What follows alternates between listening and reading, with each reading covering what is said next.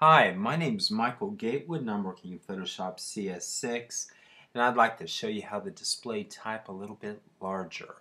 I have my font selected and I'm going to go right over here to my font drop down. You can see how large my fonts are but if I want a larger preview Photoshop 6 CS6 has allowed you to be able to make that happen by going right down to your type drop down.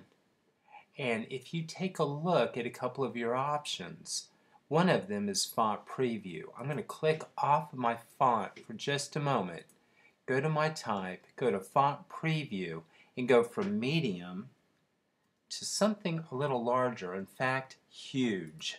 There we go.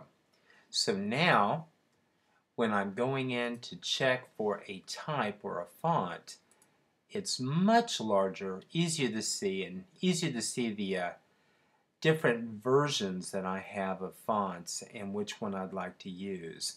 And if I see something that looks good, I can go ahead and select it. And if I want something else, I can go ahead and make that change. This in CS6 is a way to be able to go into your type preview and make it anything from small to huge. Easy change.